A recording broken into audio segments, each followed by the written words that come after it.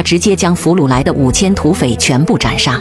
他说：“我就算背下千古骂名，也要杀掉这五千俘虏。”他叫宋哲元，从小就热爱民间武学典籍，一生敢爱敢恨。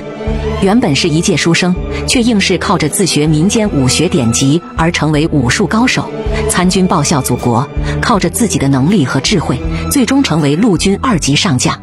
虽然他因为杀掉五千俘虏而背负骂名，但是其在抗日战争中对鬼子也是毫不手软。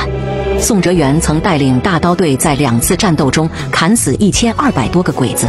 在抗日战争最艰难的时候，他立下宁为战死鬼，不做亡国奴的誓言。